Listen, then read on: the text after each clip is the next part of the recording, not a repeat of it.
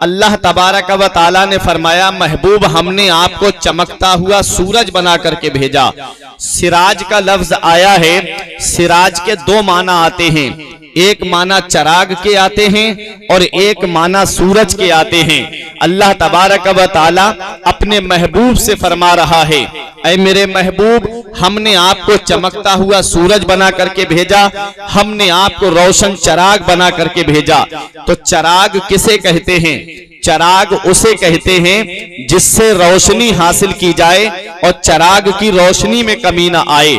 मिसाल के तौर पर मैं एक मोमबत्ती या एक चराग जला करके मस्जिद के दरवाजे पे रख दूँ और तमाम पट्टी वालों से मैं ये कहूँ कि अपने अपने घर से मोमबत्ती लेकर के आओ और इस मोमबत्ती से रोशन करके ले जाओ। यानी अपनी अपनी मोमबत्ती को या चराग को इस चराग से जला करके ले जाओ। सब जला करके ले जाए, अपने अपने घर की मोमबत्ती को या चराग को तो बताओ, जो चराग मैंने लगाया था, क्या उसमें कोई कमी आएगी? कोई कमी नहीं आएगी। अब अपने जहन को करीब करो। ये मिसाल से मैंने आपको समझाया। अल्लाह इरशाद फरमाता है अय मेरे महबूब, हमने आपको रोशन चराग बना करके भेजा है, और मेरे आका कैसे चराग हैं? आदम नूर मुस्तफ़ा से चमके हैं। नूह नूर मुस्तफ़ा से चमके हैं। हज़रत इब्राहिम मुस्तफ़ा के नूर से चमके हैं हज़रत इस्माइल मुस्तफ़ा के नूर से चमके हैं हज़रत इसहाक इसी नूर से चमके हैं हज़रत दाऊद इसी नूर से चमके हैं हज़रत याकूब इसी नूर से चमके हैं हज़रत यूसुफ इसी नूर से चमके हैं हज़रत सुलेमान इसी नूर से चमके हैं हज़रत जकरिया इसी नूर से चमके हज़रत याहिया इसी नूर से चमके हज़रत मूसा इसी नूर से चमके हज़रत हारून इसी नूर से चमके हज़रत ईसा इसी नूर से चमके अरे सिद्दीक अकबर इसी से चमके फारूक आज़म इसी से चमके उस्मान गनी इसी से चमके मौला अली इसी नूर से चमके हज़रत इमाम हुसैन इसी से चमके इमाम हसन इसी से चमके इमाम जैनुल आबिदीन इसी से चमके इमाम बाकिर इसी से चमके इमाम मूसा काजिम इसी से चमके इमाम आज़म इसी से चमके इमाम शाफई इसी नूर से चमके इमाम मालिक इसी नूर से चमके इमाम अहमद इबन हम्बल इसी नूर से चमके गौसे आज़म इसी से चमके ख्वाजा गरीब नवाज़ इसी नूर से चमके। मदारे पाक इसी नूर से चमके। वारिस पाक इसी नूर से चमके। मखदूम अशरफ सिमनानी इसी नूर मुस्तफ़ा से चमके। और आगे बढ़ो। सादर पाक कलियरी इसी नूर से चमके। मखदूम अशरफ सिमनानी इसी नूर से चमके। बाबा फरीदुद्दीन इसी नूर से चमके। कुतुबुद्दीन बख्तियार काकी इसी नूर से चमके। और आगे बढ़ो, सैयद सालार मसूद गाजी इसी से चमके। बरेली के मुफ्ती आज़म इसी से चमके। हुज्जतुल इस्लाम इसी से चमके। हुजूर ताजुशरिया इसी से चमके। शाहजी मोहम्मद शेर मियाँ इसी से चमके। मेरा ईमान पुकार के कहता है, चमक तुझसे पाते हैं, सब पाने वाले, चमक तुझसे पाते हैं। सब पाने वाले मेरा दिल भी चमका दे चमकाने वाले।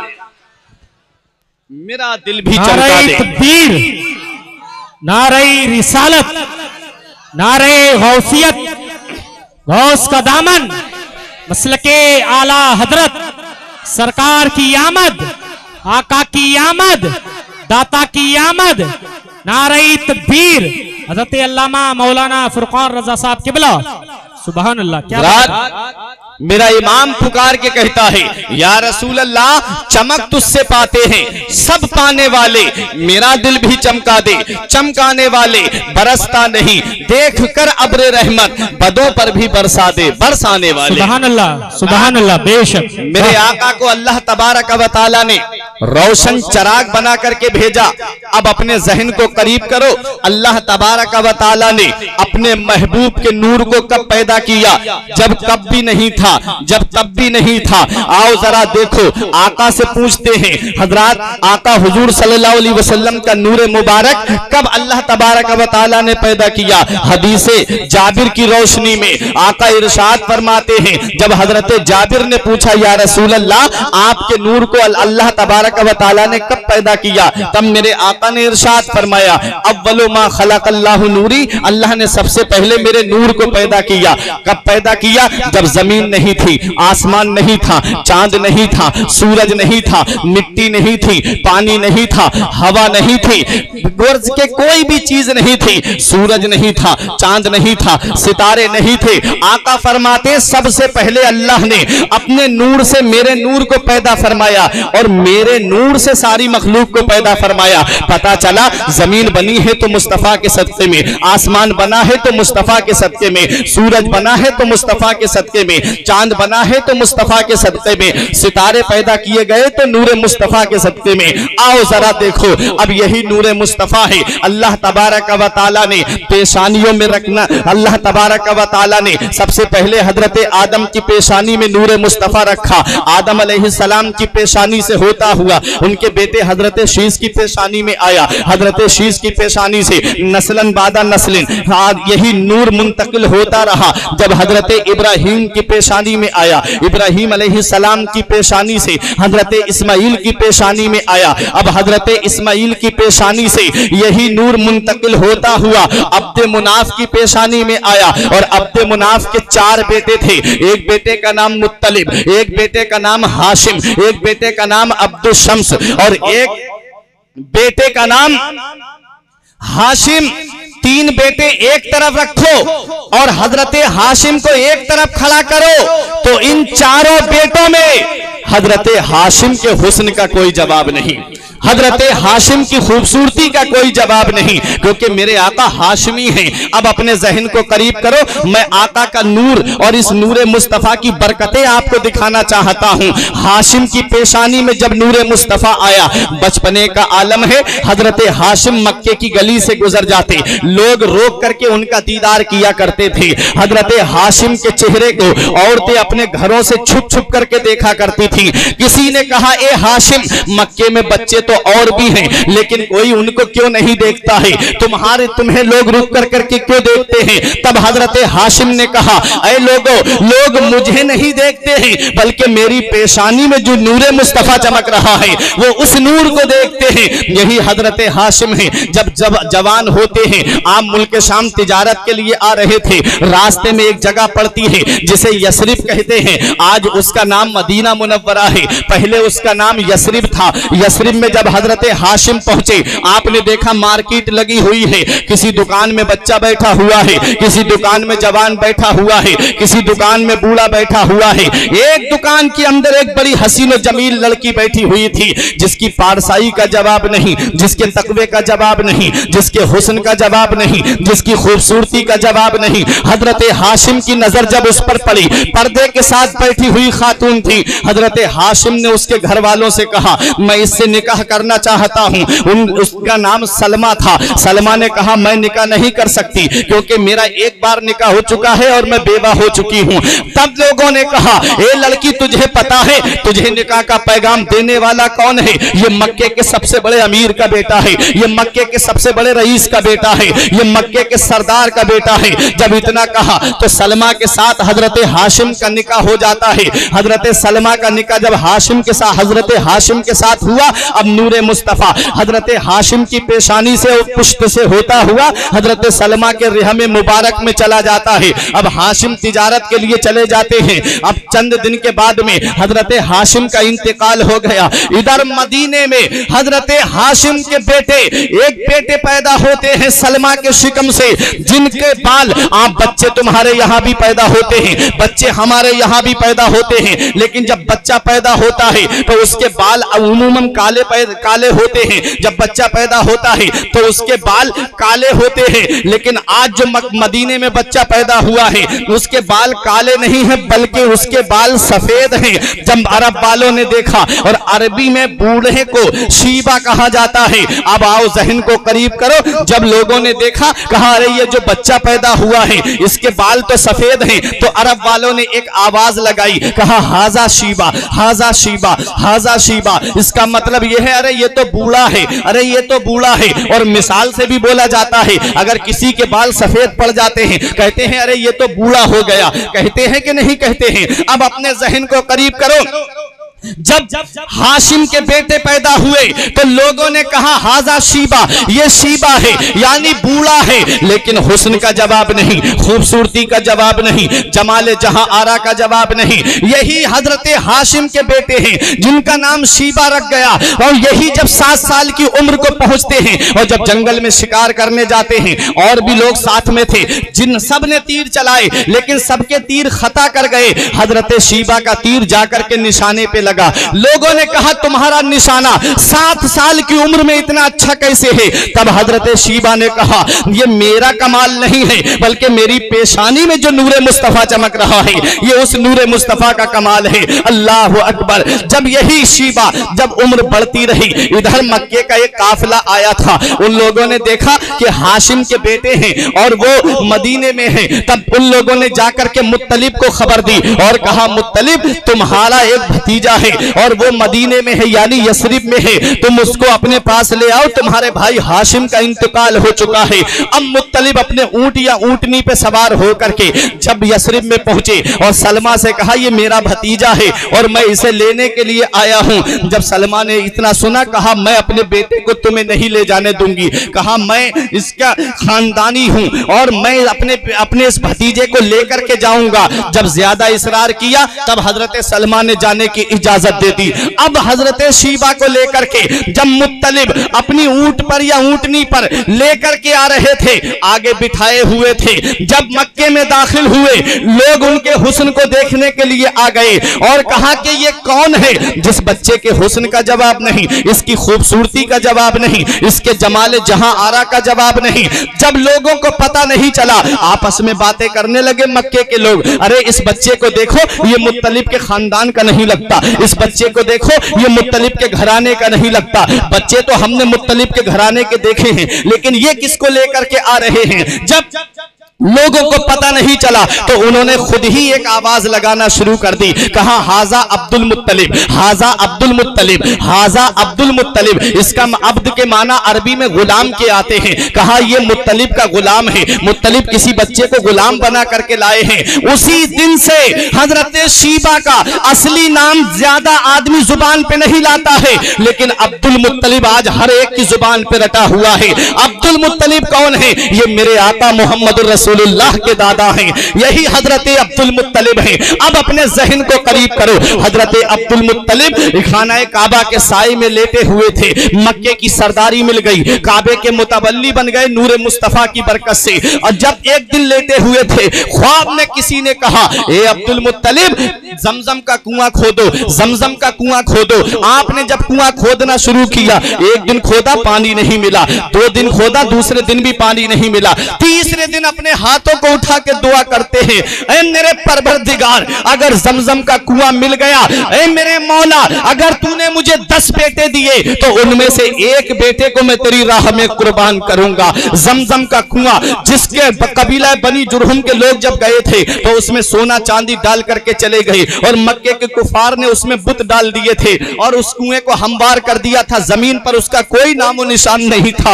अब्दुल मुत्तलिब ने जब ये दुआ करके कुदाल को ज़मीन पर मारा है। अल्लाह की अल्लाह की हिकमत से जमजम का चश्मा जारी हो जाता है। आज जो आबे जमजम तुम्हें मिल रहा है ये हज़रत अब्दुल मुत्तलिब की देन है। हज़रत गिरहमी जब जमजम का चश्मा जारी हो गया अल्लाह ने दस बेटे दिए अब्दुल मुत्तलिब को।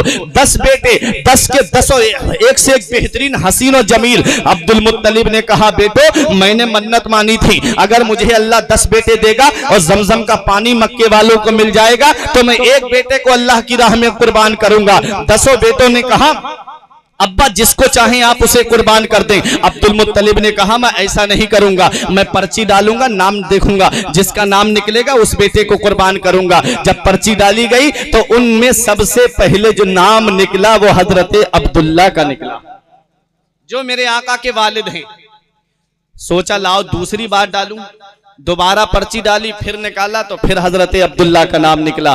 फिर तीसरी बार पर्ची डाली, फिर निकाला, फिर हज़रत अब्दुल्ला का नाम निकला। अब्दुल मुत्तलिब ने कहा, बेटे अब्दुल्ला, तुम तैयार हो? कहा हाँ अब्बा, मैं तैयार हूँ। हज़रत अब्दुल्ला तैयार हो गए। अब्दुल मुत्तलिब ने हाथ में छुरी ली और लेकर के जब चलने लगे कुर्बान करने के लिए, तब कुरैश कबीले के लोगों ने हाथ पकड़ के कहा, ए सरदार मक्का, तुम क्या कर रहे हो? अगर तुमने अपना बेटा कुर्बान कर दिया तो ये रस्म पड़ जाएगी, रिवाज पड़ जाएगा, क्योंकि तुम सरदार मक्का हो, तुम काबे के मुतवली हो, इसलिए तुम ये क्या करने जा रहे हो? कहा, मैंने मन्नत मानी है, पूरी करने जा रहा हूँ। तब मक्के के लोगों ने कहा, यहाँ से यशरीफ थोड़ी दूरी पर है, चलो वहाँ चल करके, वहाँ एक काहिना औरत रहती है, वहाँ एक बूढ़ी औरत रहती है, जो किताब का इल्म रखती है। चलो उससे चल करके पूछते हैं, कोई ऐसा तरीका बता दे, जिससे तेरा बेटा भी बच जाए और तेरा रब भी राज़ी हो जाए। गए कबीले के लोग भी, गए खानदान के लोग हज़रत अब्दुल्ला को लेकर के, जब उस बूढ़ी के दरवाजे को खटखटाया, बूढ़ी औरत कमर झुकी हुई, बाल सफ़ेद पड़ गए थे।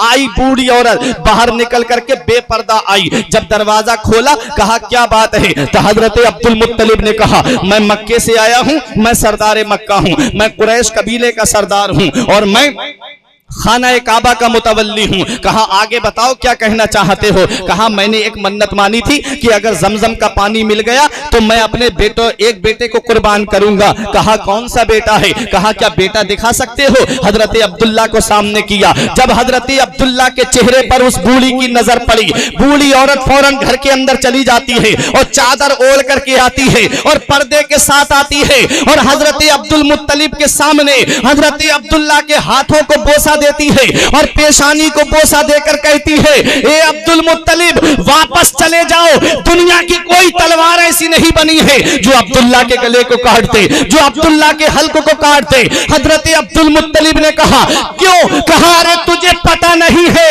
मैंने किताबों में पढ़ा है, आखिरी पैगंबर तशरीफ़ लाएगा। उसका नूर अब्दुल्ला की पेशानी में चमक रहा है, उसका नूर अब्दुल्ला की पेशानी में जगमगा रहा है। ले जा अब्दुल मुत्तलिब अपने बेटे को कहा, मैं तुझसे तेरी ये बातें सुनने नहीं आया हूँ। ये बता मेरा बेटा कैसे बचेगा और मेरा रब भी राज़ी हो जाए। तब उस काहिना औरत ने कहा, तुम्हारे यहाँ मक्के में अगर कोई अपने किसी आदमी कोई किसी आदमी को कत्ल कर देता है, कोई किसी का मर्डर कर देता है तो उसकी कीमत क्या दी जाती है? कहा, दस ऊँट दी जाती है। कहा अच्छा। कहा, दस ऊँट एक तरफ़ लिखना और एक तरफ़ अब्दुल्ला का नाम लिखना और उसको एक डिब्बे के अंदर डालना। जब तक अब्दुल्ला का नाम निकलता रहे, दस दस ऊँट बढ़ाते चले जाना। अब्दुल मुत्तलिब कहा, जब नाम ऊंटों का निकल आए तो समझ लेना तेरा रब तुझसे राज़ी हो गया, तेरे बेटे की कुर्बानी बच गई। कहा, ठीक है। आए अब्दुल मुत्तलिब, और जब दस ऊँट का नाम लिख करके डाला, और हज़रत अब्दुल्ला का नाम लिख करके डाला, नाम निकाला, पर्ची निकाली तो हज़रत अब्दुल्ला का नाम निकला। दस ऊँट और बढ़ा दिए। जब सौ ऊंटों पर कहानी पहुँची तो ऊंटों का नाम निकल करके आया। लोगों ने कहा, अब्दुल्ला बच गए, और लोगों ने कहा, अब्दुल मुत्तलिब का रब भी राज़ी हो गया। अब अपने जहन को करीब करो। मैं सोच में पड़ गया। दस ऊँट के ऊंटों पर नाम क्यों नहीं क्यों नहीं निकला? और बीस ऊंटों का नाम क्यों नहीं निकला? तीस ऊंटों का नाम क्यों नहीं निकला? सौ ऊंटों पे जाकर के ये बात क्यों खत्म हुई? तो सुनो, मक्के के अंदर आम रिवाज बन चुका था। कोई किसी का मर्डर कर देता, दस ऊँट दे देता। कहता, जाओ, मैं इसके कत्ल के गुनाह से बरी हो गया। आम रिवाज बन गया था मक्के के अंदर कत्ल का। और कोई किसी को कत्ल कर देता, दस ऊँट दे के कहता, मैं इसके गुनाह से बरी हो गया। वो रिवाज खत्म होने जा रहा है। सौ ऊँट कोई मामूली चीज़ नहीं है। सौ ऊंटों के लिए बहुत ज़्यादा रकम की ज़रूरत पड़ेगी। हज़रत अब्दुल मुत्तलिब ने जब सौ ऊँट राहे खुदा में कुर्बान किए, तब मक्के के लोगों ने कहा, अब किसी का मर्डर मत करना, अब किसी का कत्ल मत करना, अब किसी के खून मत बहाना, क्योंकि अब सरदार मक्का ने सौ ऊँट दिए हैं अपने बेटे के बदले में। अब सौ ऊँट देना पड़ेंगे। गोया मदीने वाले मुस्तफ़ा, अभी इस दुनिया में तशरीफ़ नहीं लाए हैं और कत्लो गारत से बचा रहे हैं। लोगों के को, लोगों को कत्ल होने से बचा रहे हैं। ये नूर मुस्तफ़ा की बरकत है। ये नबी करीम सल्लल्लाहु अलैहि वसल्लम की बरकत है। अब अपने जहन को करीब करो। यही हज़रत अब्दुल्ला है। यही हज़रत अब्दुल्ला है। जंगल में जा रहे थे शिकार करने के लिए। लोग तो उसी दिन से दुश्मन बन गए थे। जिस दिन से उस काहिना औरत ने कहा था कि अब्दुल्ला की पेशानी में नूर मुस्तफ़ा चमक रहा है। उसी दिन से लोग दुश्मनी रखने लगे, यहूदी और नसारा। इन लोगों ने सोचा, अगर आखिरी पैगंबर इस दुनिया में आ गया तो मूसा की शरीयत खत्म हो जाएगी, ईसा की शरीयत खत्म हो जाएगी। दीन मूसवी, दीन ईसवी दोनों खत्म हो जाएँगे, मनसूख हो जाएँगे। हुकूमत होगी तो इस्लाम की होगी, कानून होगा तो इस्लाम का होगा, शरीयत होगी तो मदीने वाले मुस्तफ़ा की होगी। इसलिए लोगों ने सोचा उन्हीं को कत्ल कर दो ताकि न रहे न बजे बाँस न न रहे बाँस न बजे बांसुरी। उन्होंने ये सोचा कि हज़रत अब्दुल्ला ही को कत्ल कर दो क्योंकि उन्हीं की पेशानी में नूर मुस्तफ़ा है। सत्तर यहूदियों को तलवार लेकर के उन जालिमों ने भेजा और वो जंगलों में मक्के के छुप गए। जब हज़रत अब्दुल्ला जंगल में पहुँचे हज़रत अब्दुल्ला को चारों तरफ़ से यहूदियों ने घेर लिया और नंगी तलवारें लेकर के हज़रत अब्दुल्ला पे हमला करना चाहते थे। एक बूढ़ा एक पहाड़ की आड़ में खड़े होकर के देख रहा था। वो उनका नाम था वहाब इब्ने अब्द मुनाफ। उन्होंने सोचा, ये मेरे खानदान का नौजवान है। इसकी खूबसूरती का जवाब नहीं, इसके हुस्न का जवाब नहीं, इसके चेहरे का जवाब नहीं। कहीं ऐसा ना हो कि मेरे खानदान के चश्मो चराग को ये लोग कत्ल कर दें। उन्होंने सोचा, लाओ, में आवाज़ लगाऊँ ताकि ये यहूदी समझे कि अब्दुल्ला अकेले नहीं है, बल्कि उनके साथ कोई और भी है। जब आवाज़ देना चाहिए वो कहते हैं, ऐसा लगा जैसे किसी ने मेरे गला दबा दिया हो बोले, मैंने सोचा लाओ पत्थर उठा करके इनकी तरफ़ फेंकूं, ताकि ये समझ लें कि अब्दुल्ला के साथ कोई और भी है। कहा, जब पत्थर उठाना चाहा, पत्थर ज़मीन में धस गया। हज़रत अब्दुल्ला को चारों तरफ़ से यहूदी घेरे हुए हैं। इन्होंने सोचा, लाओ अपने कबीले में जाकर के खबर कर दूँ, ताकि कबीले के लोग आ जाएँ और अब्दुल्ला को बचा ले। कहा, ऐसा लगा जैसे ज़मीन ने मेरे पैरों को पकड़ लिया हो। परवर दिगारे आलम, पूरी दुनिया को दिखा रहा है, जिसे मैंने अपना महबूब बना के भेजा है। उसे किसी के एहसान की ज़रूरत नहीं है। उसका खुदा उसका सहारा है और वो सारी खुदाई का सहारा है। हज़रत गिरानी अपने जहन को करीब करो और सुनो, मैं बताना चाहता हूँ, जब यहूदियों ने हमला करना चाह, अल्लाह ने आसमान से फरिश्तों की जमात को उतारा, सत्तर यहूदियों को वहीं कत्ल कर दिया। जब हज़रत अब्दुल्ला